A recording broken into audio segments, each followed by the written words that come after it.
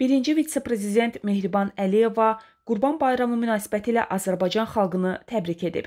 Vitse-prezident Mehriban Əliyevanın rəsmi Instagram səhifəsində edilən paylaşımda deyilir: Əziz həmvətənlərim, mübarək Qurban Bayramı münasibətilə sizə səmimi təbriklərimi və ən xoş arzularımı yetirirəm. Bu əziz bayram günlərində bütün xeyirxah dua və niyyətlərinizlə həmrəy olduğumu bildirir.